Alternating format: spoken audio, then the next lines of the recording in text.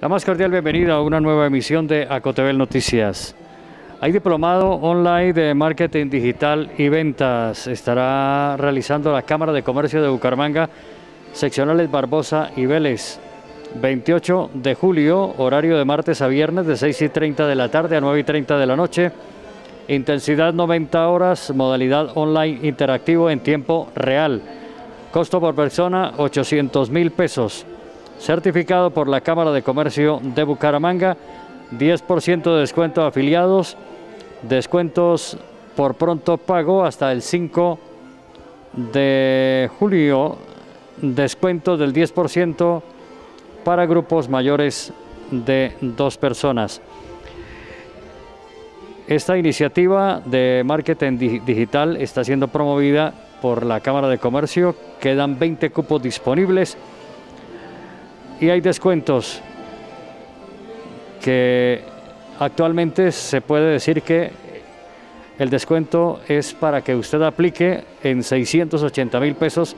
Es una buena oportunidad que brinda la Cámara de Comercio de Bucaramanga, seccionales Barbosa y Vélez, que contribuye en la promoción, el crecimiento de bienes y servicios para la provincia de Vélez. Bienvenidos, estamos en Acotebel Noticias. Es muy grato estar aquí de nuevo en Acotebel Noticias con personajes muy importantes para nuestra región y el progreso de, Vélez y su entorno, de nuestra provincia. Eh, desde el proceso Vélez 500 años se adelanta algo que es muy especial para defender lo que tenemos, pero también para impulsar nuevas propuestas en cuanto a cultivos, en cuanto a, a manejo de fincas, en fin, la finca veleña es el nombre. Don Kennedy Cruz, usted es la persona que está manejando todo este proceso y le damos la más cordial bienvenida. Muchas gracias Juan, un saludo muy especial a todos los televidentes. Y la finca veleña se defiende de la minería, es una propuesta de desarrollo, una propuesta de desarrollo integral para las familias campesinas o para las personas que estén en el pueblo y que tengan su tierrita y quieran retornar a las labores agropecuarias. Bueno, aparte de la finca veleña, no solo es la finca como tal, el, terreno, es también la, propuesta y las iniciativas que nacen de allí, ¿no? Sí, señor, es un modelo de, de producción sustentable y sostenible, amigable con el medio ambiente. La naturaleza nos enseña que nosotros debemos combinar y debemos tener todos los elementos que hay en la misma naturaleza para que nos ayude a que haya una buena producción y que el equilibrio ecológico se siga manteniendo en la producción y de esta misma manera evitar aplicar muchos agroquímicos porque hay unos insectos que consumen otros insectos, hay unos hongos que se llaman endopatógenos que nos ayudan al control también de los hongos. Y si nosotros tenemos un terreno bien nutrido, un suelo bien alimentado, entonces podemos plantar ahí y las plantas van a ser muy resistentes y si son resistentes van a estar defendiéndose del ataque de insectos y del ataque de hongos y bacterias.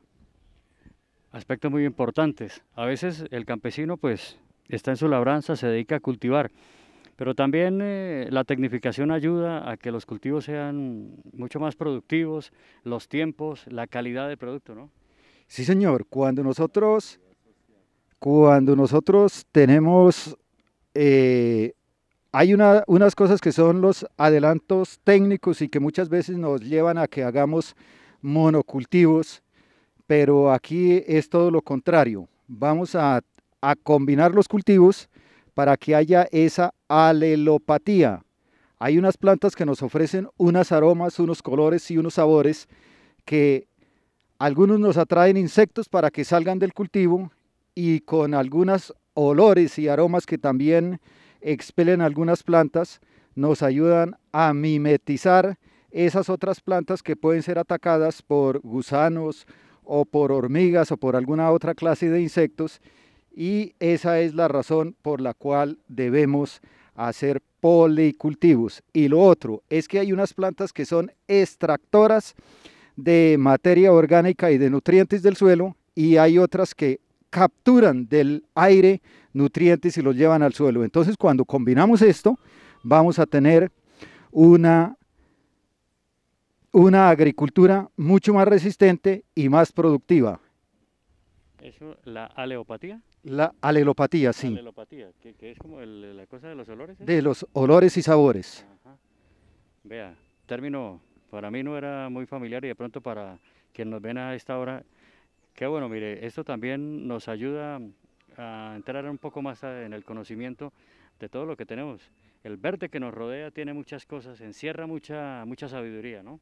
Sí, señor. Y lo otro que de, de aquí se busca con las iniciativas o con esta propuesta de desarrollo integral de la finca beleña es que recuperemos los saberes ancestrales, cómo cultivaban los abuelos, cuáles eran esas técnicas y tecnologías que ellos utilizaban tanto en la agricultura como en la ganadería y también recuperar esos sabores gastronómicos de las abuelas donde se utilizaba y se empleaban todos esos elementos que se cultivaban en la finca y hacían tortas, hacían eh, sopas, coladas, arepas, molidos, tamales, un resto de gastronomía que se ha venido perdiendo y que la cultura de hoy en día la está desconociendo y que debemos recuperarla porque todo eso que se produce en la finca hay que aprovecharlo al máximo. Eh, el tema, de, el tema social y también las artesanías. Esto encierra muchas cosas. La verdad es que esto daría para mucho tiempo en el diálogo, pero esa parte artesanal que también es fundamental, ¿no? Sí, señor. Eh, el mundo hoy está inundado de plásticos, de mucho material de un solo uso, es decir, todos esos desechables que nos están invadiendo las ciudades, las carreteras, las quebradas, las alcantarillas, el campo a nivel general. Ya por todo lado encontramos frascos, botellas, plásticos, entonces de ahí la necesidad en que también recuperemos esos saberes como el costal, la mochila, el canasto, para recolectar los productos y para llevar también los productos al mercado y para traer del el mercado, de la plaza de mercado, de la tienda, los productos que retornamos hacia nuestros hogares. Y algo muy importante también es que dentro de esta propuesta, todas las personas que están dentro de la familia tienen que estar jugando un papel muy importante, cada cual desde la posición que le corresponde, es decir, el ama de casa, el estudiante, el joven que ya también aprende a hacer esas labores que sabe hacer el papá, que sabe hacer el abuelo, pero también sin descuidar esas actividades sociales y culturales que hay en la vereda, donde tenemos la Junta de Acción Comunal, donde tenemos la Asociación de Padres de Familia, donde tenemos la Asociación de Mujeres Campesinas, porque es muy importante que andemos organizados y que todos busquemos el desarrollo integral y sostenible de todos los miembros de la comunidad y que esto sea eh, modelo para que otras comunidades también hagan estos, estas actividades y estos trabajos. Claro, ahora como lo, habíamos conversado con, con, Omar eh, Kennedy, y el, el canasto, cuando iba uno a la plaza de mercado, llevaba su canasto, un canasto pequeño, uno más grande, en fin.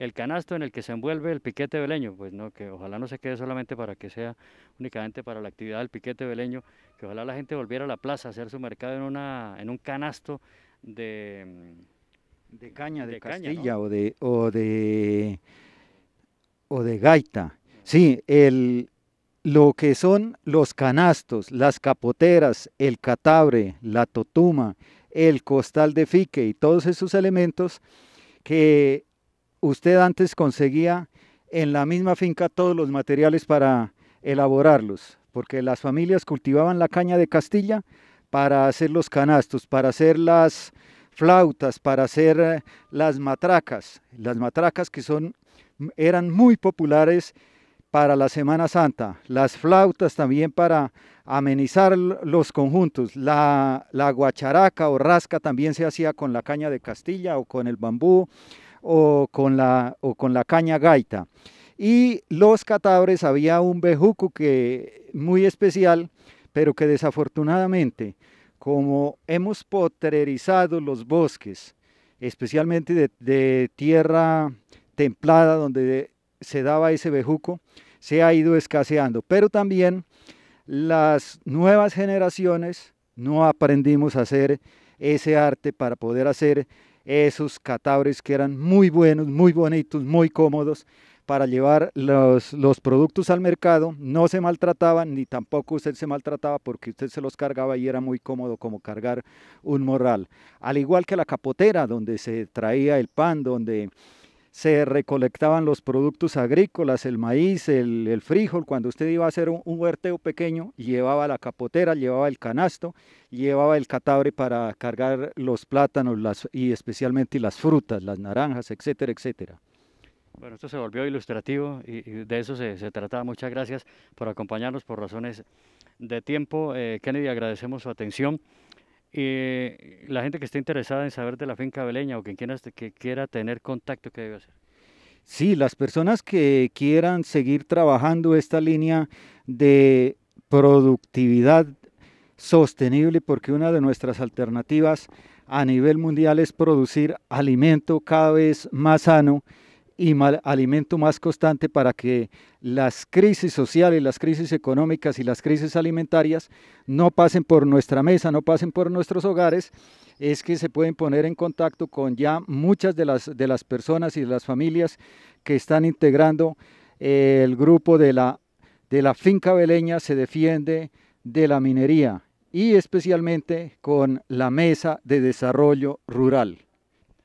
Estamos aquí en el solar de mi casa, como para entrar un poquito en contexto, en el centro de Vélez, aquí sobre la calle Novena, pasos abajo del Colegio de las Belemitas.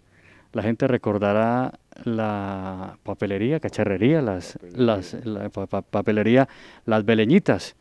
Y doña Nectalia, toda una vida, nosotros crecimos eh, en todo este entorno, muchas veces tuvimos que venir aquí a comprar las cosas que nos pedían en el colegio, en fin, de, desde niños y muchas generaciones se criaron por este sector, eh, en este ambiente, pero ahora eh, el profesor Hugo Bocarejo y doña Margarita, que nos reciben aquí muy gentilmente, en este solar, en esta casona, se ha querido revivir algo que es tradicional para nosotros, pero que también necesitamos que, que tenga vida, las maticas, las flores, todo el entorno de nuestra naturaleza y profesor Hugo, bienvenido, muchas gracias por atendernos. Es usted además agrónomo y quiere poner en práctica tantos conocimientos que a lo largo de la vida también como educador los pudo eh, ofrecer allí en, el municipio de Guabatá, donde fue su, su sitio mayormente de, trabajo, ¿no? Bienvenido. Bueno, muchas gracias, muy buenas tardes a Cotebel Noticias por esta gran oportunidad que nos dan de que conozcan nuestro proyecto familiar. Es un proyecto donde estamos vinculados todos, desde mis nietos, mis hijos, eh, para la realización de este proyecto. A todos nos gusta el medio ambiente sano, entonces pues estamos contentos de, este proyecto y ahí lo llevamos eh, adelante poco a poco eh, no con un ánimo de lucro eh, generalizado, no, sino lo hacemos más que todo como para un descanso mental, un mejor aire para la casa. Entonces, pues estamos dedicados a eso, Juan.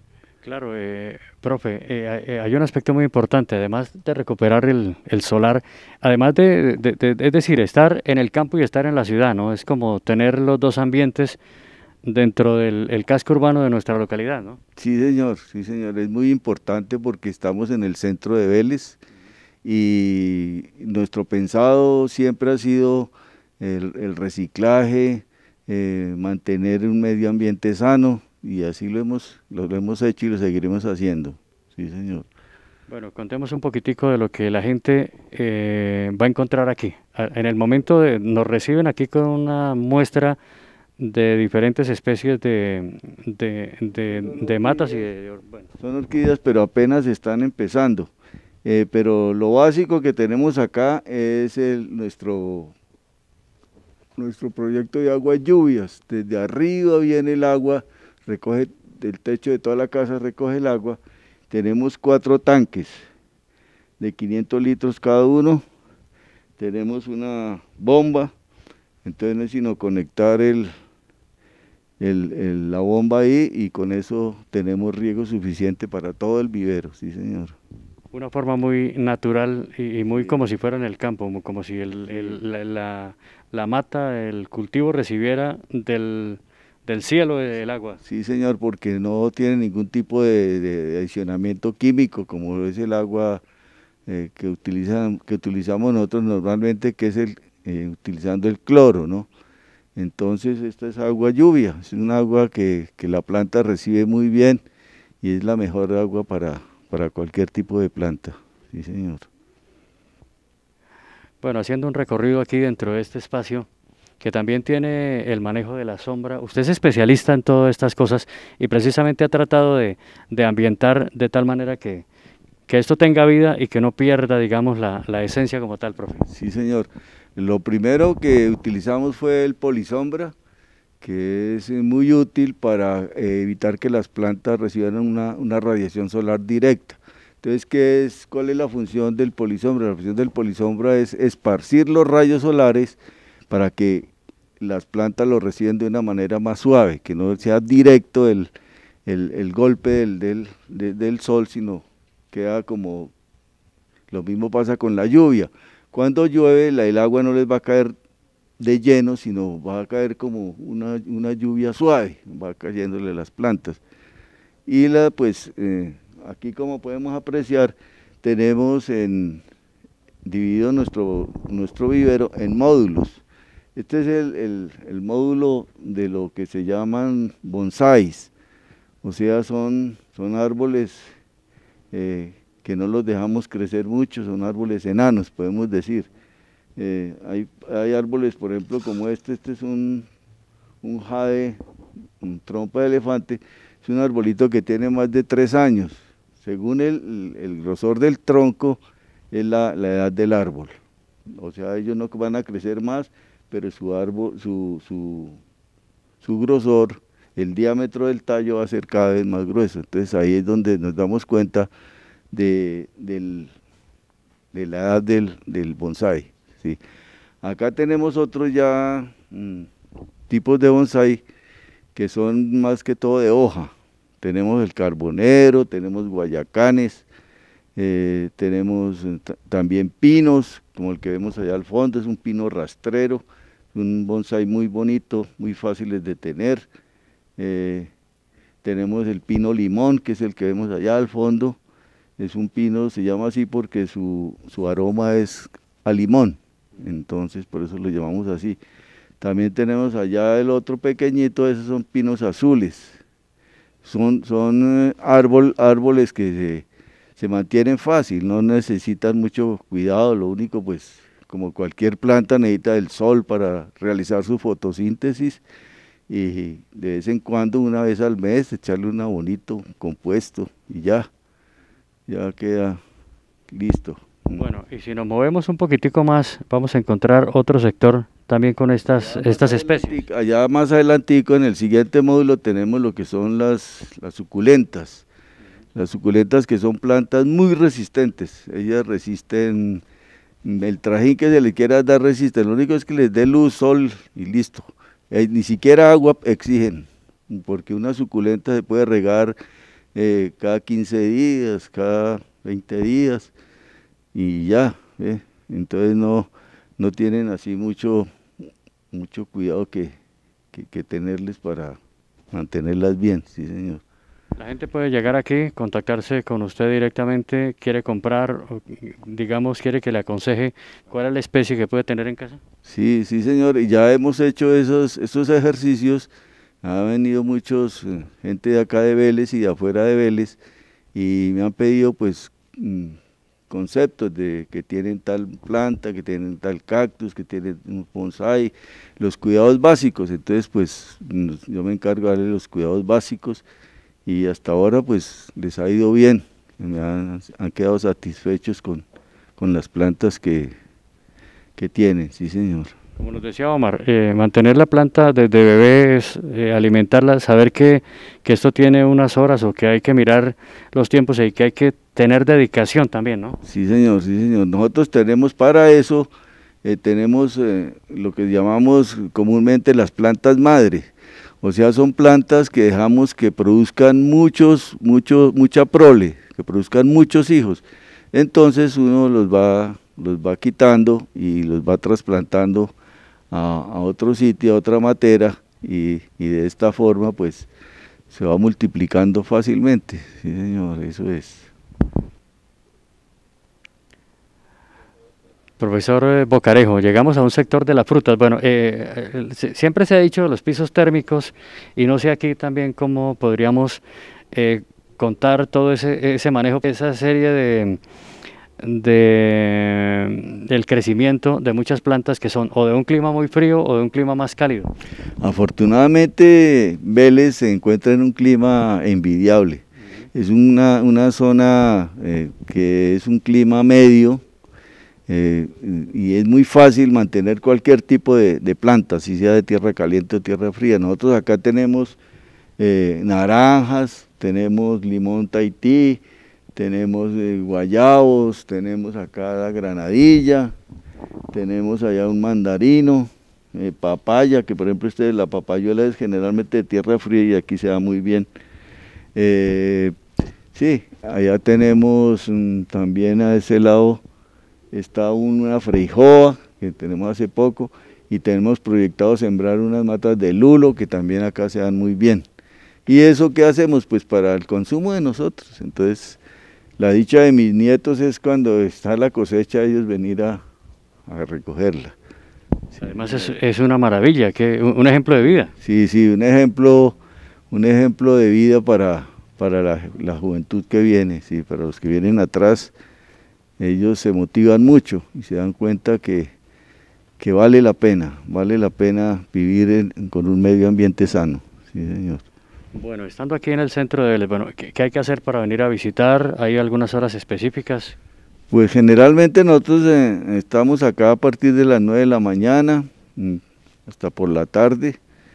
Y sí, toda la gente que nos visita les gusta venir a, a conocer el vivero. Entonces entran y quedan muy, muy satisfechos, porque es que hasta el aire que respira uno acá es diferente. Es un aire mucho más puro, un aire que vale la pena. Sí. Qué bonito y qué buen ejercicio el que usted está realizando. Entiendo que ya eh, la, docencia ya ha quedado atrás. Sí, sí, señor. Yo me pensioné, ya voy a cumplir como 5 o 6 años. Entonces, a partir de eso, me dediqué a, a seguir con mi carrera. Sí, porque yo las plantas sí no las cambio por nada. Sí, señor. Efectivamente, como, como agrónomo es un poco hacer el ejercicio de continuar esa profesión. Continuar, continuar con, mi profesión y, sobre todo distraerme, ¿no? Ocupar mi tiempo, que ahora es mucho tiempo libre el que tengo, entonces pues me dedico acá al vivero. Efectivamente, ponerle, eso, eso se diría ponerle años a la vida, ¿no? Correcto, sí señor, sí señor, eso es muy importante, porque uno entra acá, se pone a trabajar y se olvida de todo, de todo, de todo.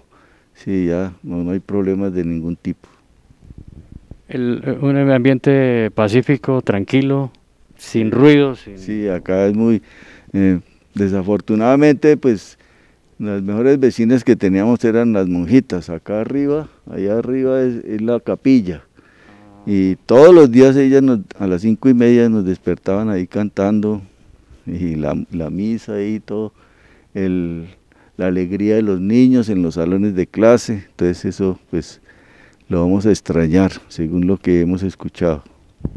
Lamentablemente, bueno, eso es algo que de lo que nos tendremos que ocupar en los próximos días, tristemente porque a ustedes sienten ese, se, sentían ese ambiente, pues eso es algo que... Es un vacío que, que, se va a sentir, sí señor.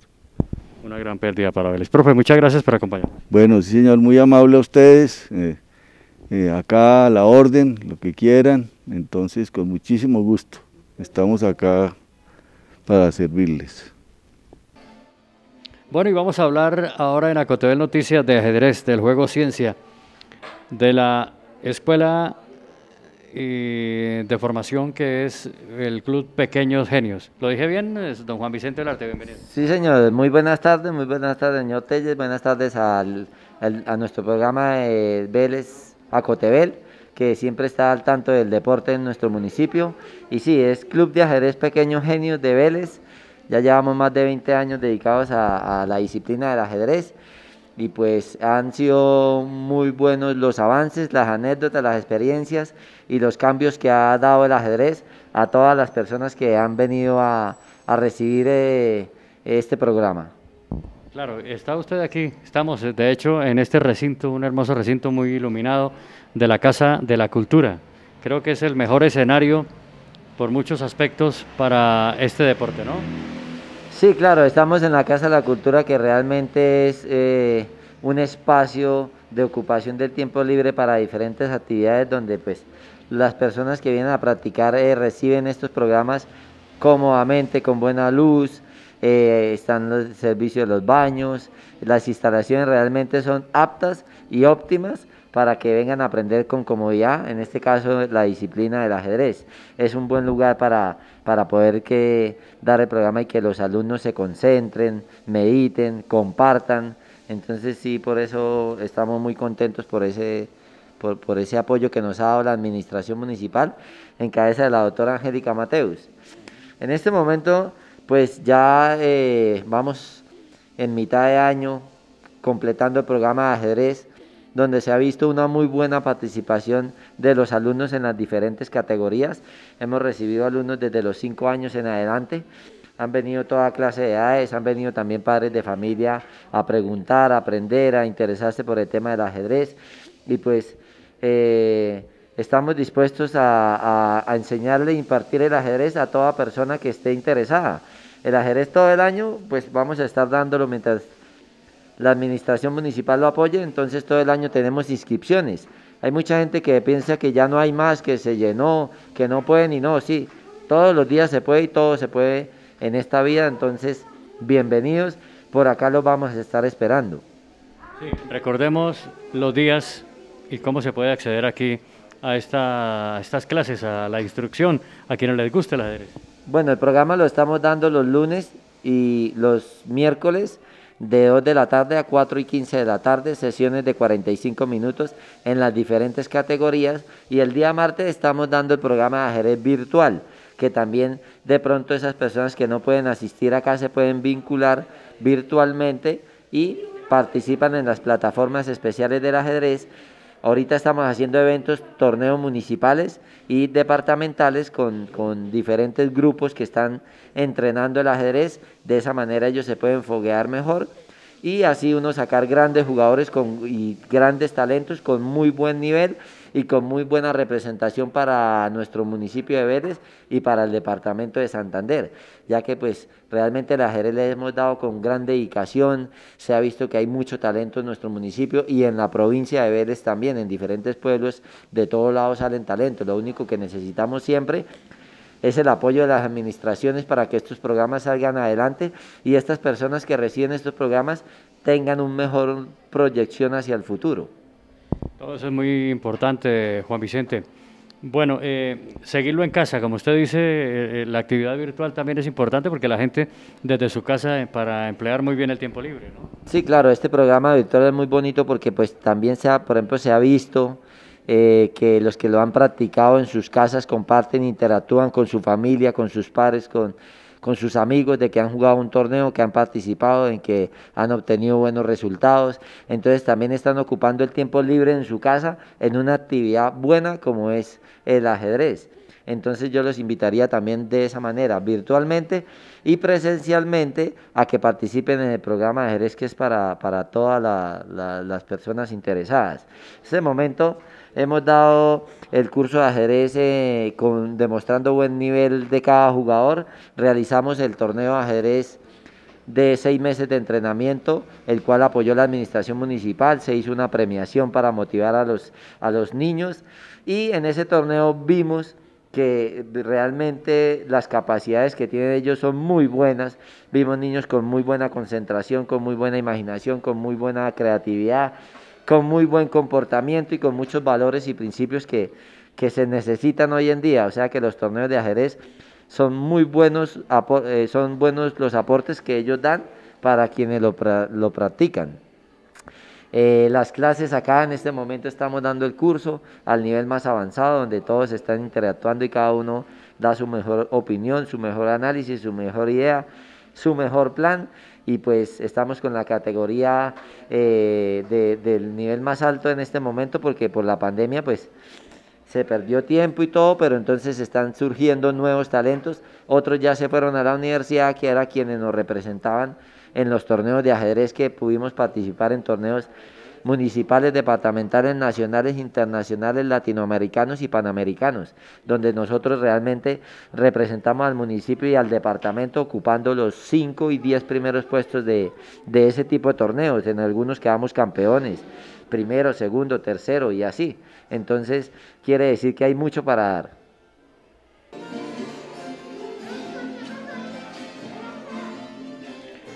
nuestro folclore, nuestra identidad.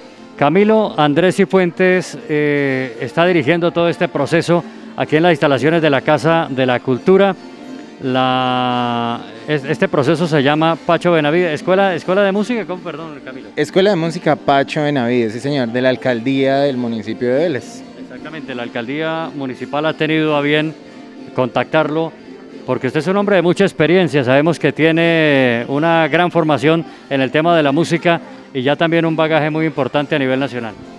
Sí, señor, pues por fortuna se me han dado las cosas y he buscado la manera de formarme tanto académicamente como pues eh, como docente, como pues buscar profesionalizarme en todos los aspectos y, esto ha dado pie a que pues podamos contar en, en aportarle al municipio de alguna manera, ¿no? Muy importante, los jóvenes, los chicos son receptivos con su música. Pues no es mi música, es la de la, sí, la idiosincrasia del municipio. Yo considero que es como lo bonito, porque como te estás dando cuenta, cosa que no había antes, que son tiplistas, habían muchos requintistas, eso ahí por cantidades. Ahorita hay procesos de guitarra, de tiple melódico, tiple acompañante, como te estás dando cuenta. Eh, niños, tenemos niños desde 7 años hasta personas de 80 años. Actualmente contamos más o menos con 45 personas y los cupos sí están limitados y cerrados porque pues desafortunadamente no podemos tener muchas aglomeraciones por la cuestión del COVID, ¿no? Claro, todo eso es importante cumpliendo los protocolos.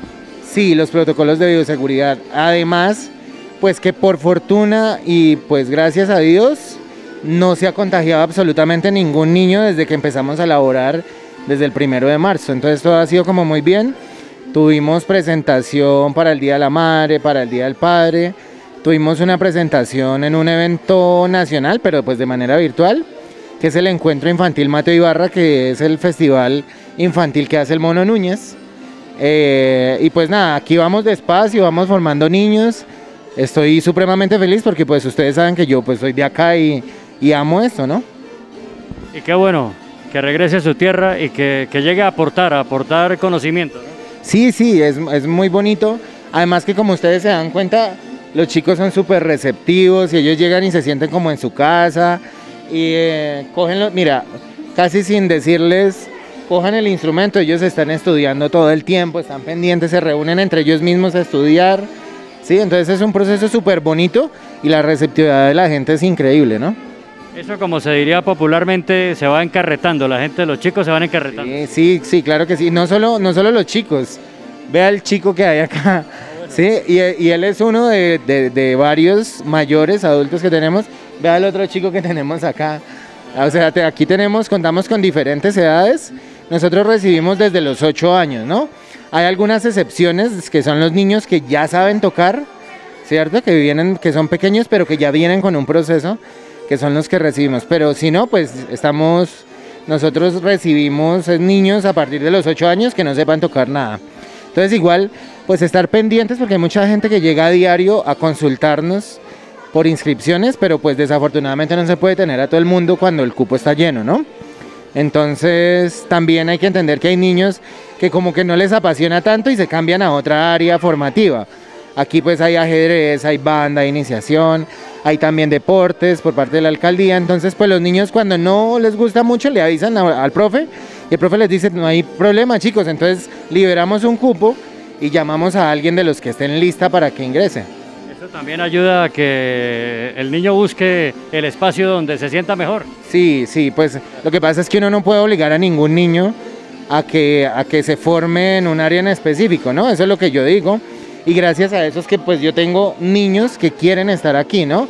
Que les gusta mucho, con los que podemos también contar representando al municipio como la representación que hicimos para el Festival Mono Núñez, que es muy importante. Y lo importante también es tener constancia, ¿no? E-, es bueno que se vaya creando como esa iniciativa de un horario y de que, de que haya disciplina, ¿no? Claro, ¿no? De igual manera, eh, como para los que quieren venir a, a ver su casa de la cultura, porque algo que hay que tener muy en claro y que me gusta siempre decir es que la cultura no tiene política, ¿no? La cultura es cultura y esto es lo nuestro, esto es lo que amamos muchos de nosotros. Yo creo que la mayoría de los beleños aman oír un requinto, escuchar una guabina, compartir en las ferias con su familia y estas cosas. Entonces, pues yo los invito si ellos quieren venir a chismosear, ay, qué tan rico, vamos a ver allá a los niños tocando un rato, ¿cierto? Vamos a darnos una vuelta y mirar tan bonita la Casa de la Cultura. Que vengan, porque esto de igual manera es de ustedes. Claro, además eh, esto está orientado por Jimena Santamaría, que también eh, es ese gran intérprete y, parte de nuestra idiosincrasia folclórica, ¿no? Claro, Jimenita se, se empoderó del proceso cultural y pues vean, muy a concepto personal, ella ha hecho lo que no ha hecho muchísima gente hace mucho tiempo, ¿no? Contando también obviamente con, con con el apoyo de la alcaldía, que fueron ellos quienes le, pues, nos dieron la oportunidad de crear pues, estos espacios y, estos, y estos grupos de formación. La gente que quiera enviar a sus chicos o los chicos que están interesados, ¿qué tienen que hacer?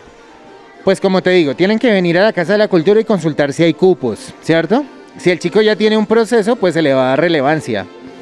Si el niño viene desde ceros, pues tenemos que esperar que uno de los más pequeños libere cupo para poderlos ingresar. La virtualidad también puede ayudar un poco en esto si tiene instrumento en casa y de pronto... No estamos dando clases virtuales porque es que la virtualidad demanda más tiempo. Sí, o sea, para el docente es el doble de tiempo, porque aparte de la clase que tienen que dar, tienen que hacer los tutoriales, tienen que hacer otro tipo de informes que demandan muchísimo más tiempo y otros costos, ¿sí? A veces se necesita un espacio como este donde, donde se le pueda ir eh, orientando al chico. Es mucho mejor también porque los niños van a oír de primera mano el instrumento, van a saber con qué fuerza se aplica el sonido, se aplica, se aplica la plumada para que el sonido proyecte o la mano, eh, para que haya esta compatibilidad, la sociabilidad, para que, o sea, esto no es para volverlos a todos músicos de profesión, sino para que ellos tengan un espacio idóneo donde encontrar compañeros, donde hacer cultura, donde formarse muy bien.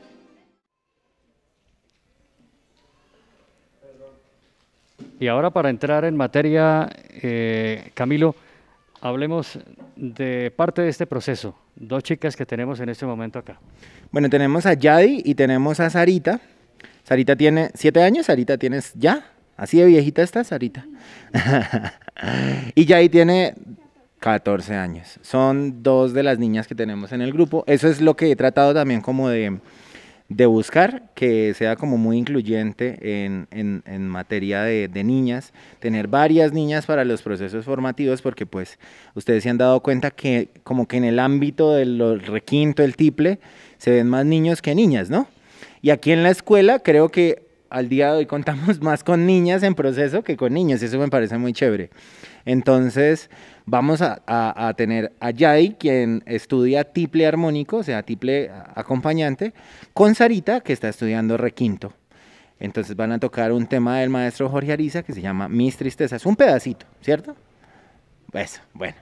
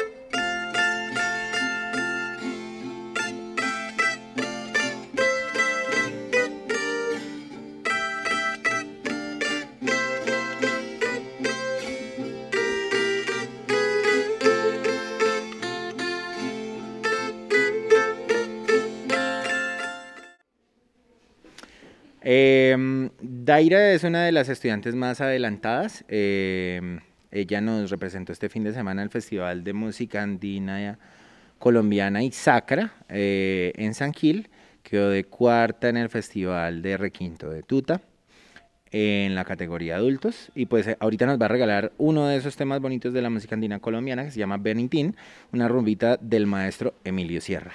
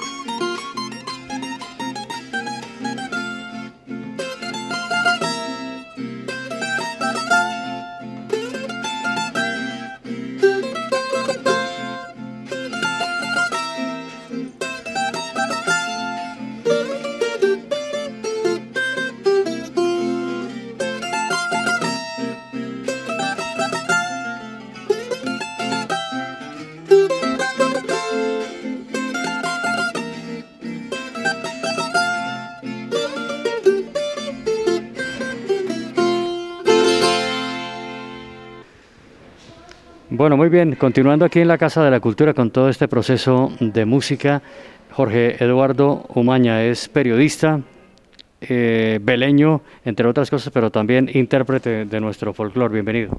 Muchas gracias, Juan. Bueno, sí, pues la verdad que pues para nosotros es un honor poder estar aquí en este proceso tan bonito que se está llevando con el maestro Camilo Cifuentes, este proceso que se ha venido llevando con estos chicos y pues con los adultos. Eh, ha sido muy interesante pues después de estar bastantes años fuera del país, para mí es un honor y es una alegría poder retomar las raíces, poder retomar los instrumentos típicos que son lo que nos identifican a nosotros como nuestra cultura, como veleños, parte de nuestra cultura. Y pues qué mejor que estar con el maestro Camilo Cifuentes que tiene condecoraciones de pues no solo individuales, sino como, como profesor, como maestro, ha sacado avante chicos que la verdad eh, interpretan de manera magistral los instrumentos de andinos de música colombiana. Claro, entiendo que usted estuvo en España, tiene una experiencia muy especial allí por, por todo este territorio, ¿no? Sí, bueno, eh, viví 14 años en Barcelona y pues de momento estamos aquí otra vez, como le dije antes, retomando las, la, la cultura, ¿no? La cultura nuestra y pues para mí es la mayor felicidad poder estar acá de nuevo. Esas comparaciones, bueno, dicen que toda comparación es odiosa, pero de todas maneras eh, lo nuestro, este entorno, eh, un país eh, mm, de, digamos, diferente como, como España, que tiene afinidades, sin lugar a dudas, por idioma, pero todo, todo país tiene sus diferencias, ¿no? Claro, exactamente. Es que allí todo es muy diferente. De hecho, dentro de España hay culturas muy diferentes, completamente diferentes, bueno, igual que aquí en Colombia. Pero las raíces nunca se olvidan. O sea, las raíces nunca se olvidan, Juan. Entonces, a pesar que yo no continué con la, con la música, digamos, pues ahora que estoy retomando, para mí es, es una gran alegría, ¿no? Las culturas, como le digo, son muy diferentes, pero lo que es de uno es de uno y siempre se lleva en el corazón y eso nunca se, nunca se olvida.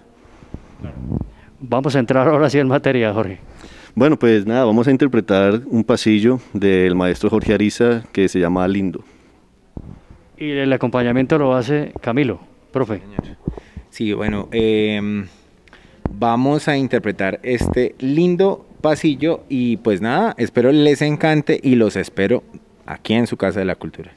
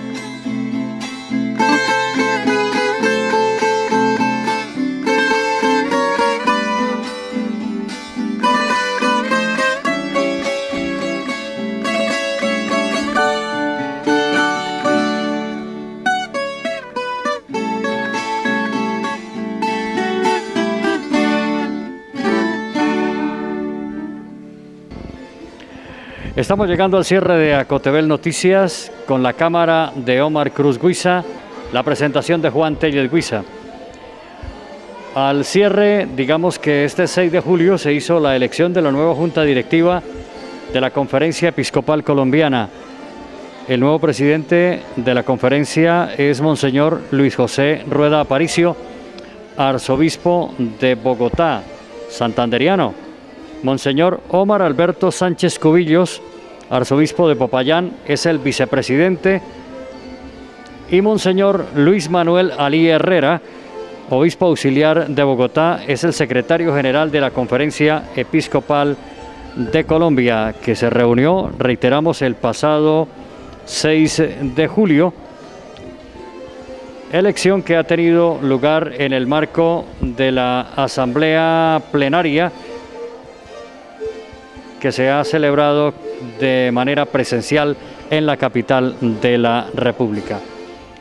Agradecemos su sintonía todos los martes y los jueves a las 8 de la noche, miércoles y viernes 12 del día en Acotebel Noticias.